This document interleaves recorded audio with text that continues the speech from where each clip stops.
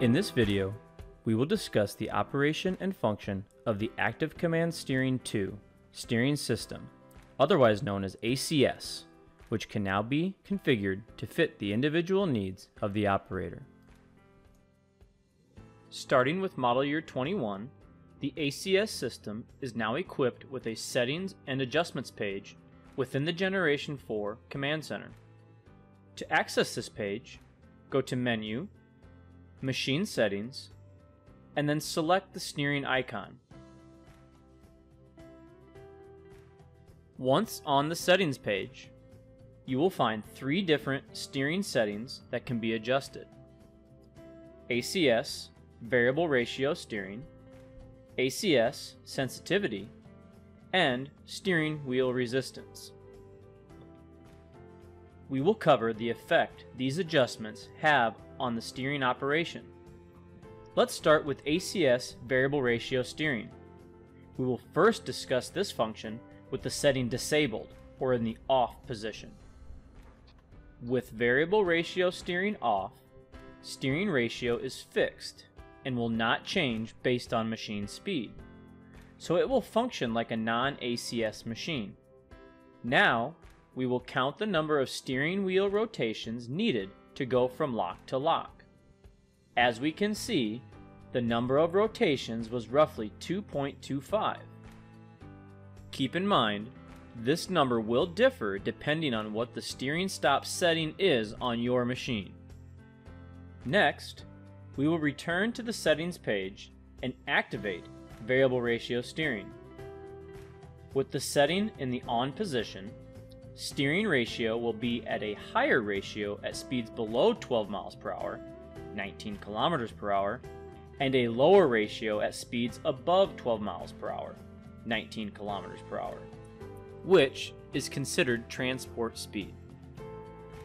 Again, we will count the number of rotations needed to go from lock to lock, which, as we can see, is less than two rotations. So the higher ratio resulted in fewer rotations, which translates into improved maneuverability in the field.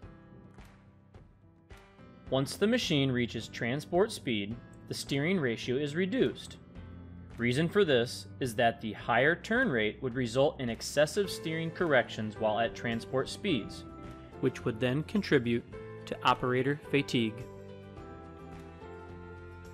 The next adjustment is steering wheel resistance. This changes the amount of force required to turn the steering wheel. This allows the operator to fine-tune their steering experience. Perhaps this is the only ACS machine in their fleet, and they want steering consistency across their fleet. This adjustment would allow them to achieve that consistency. Using the display, we will lower the setting to its minimum value, and then attempt to steer the machine. As you can see, the steering wheel is turned with ease with the use of just one finger. Next, we will increase resistance back to the medium setting. This time, a little more effort is required, but still steers easily using just one finger.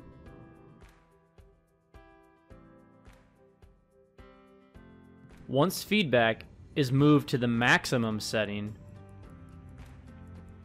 steering with just one finger becomes increasingly difficult.